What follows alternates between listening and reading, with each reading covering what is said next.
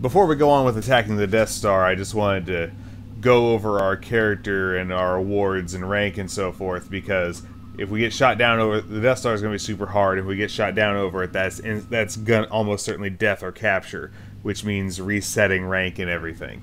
So, um, just going to go through all of the medals we've gotten